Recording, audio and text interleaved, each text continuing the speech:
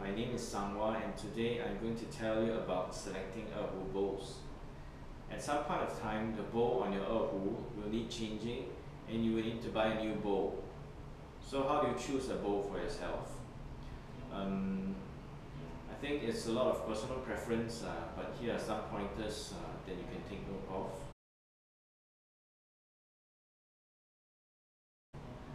First, uh, you have to determine whether you want to buy a Shanghai bow or a Beijing bow. Okay, basically this is a Shanghai bow.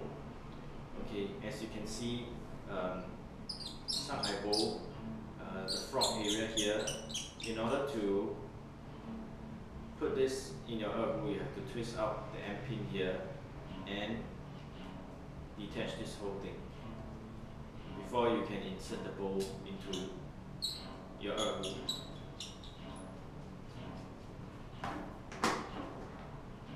This is a Beijing bow. So Beijing bow usually have this uh, hook here where you can just uh, release the tension and you can actually pull it out and this comes off and you can easily put it back into your erhu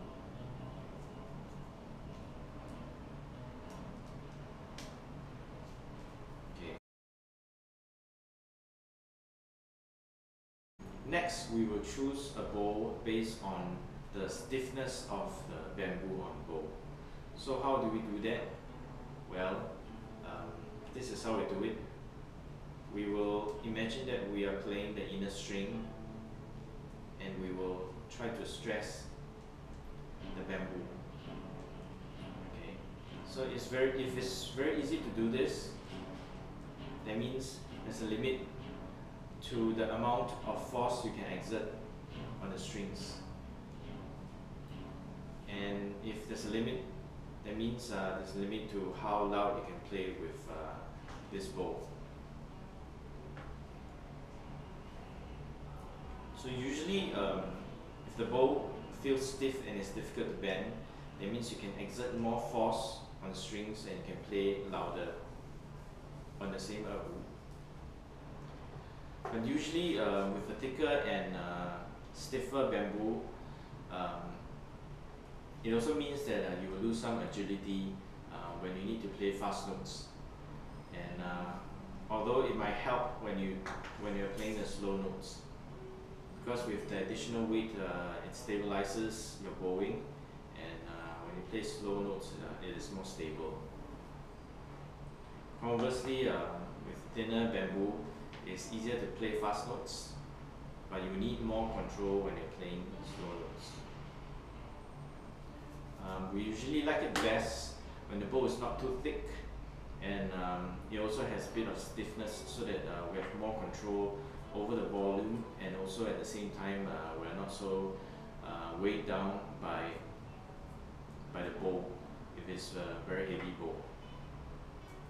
So um, you can see here this is a spotted bamboo bow or in Chinese we call it uh, Zhu and uh, we kind of like this kind of bow because uh, they are very um, not very heavy and uh, they also have good stiffness uh, but they are usually uh, more expensive than the usual normal bows.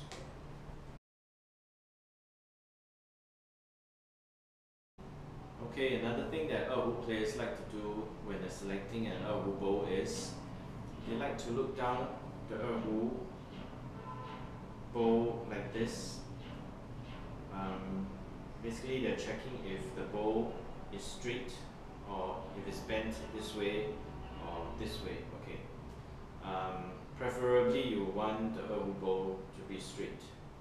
Okay. If it's bent, sometimes uh, during shipping the erhu bow might be bent um, to the left or to the right. Uh, but um, that's not a big problem if you can uh, you can just bend it and make it straight. But if it is naturally bent left or right then uh, it is an erhu bow that you should avoid.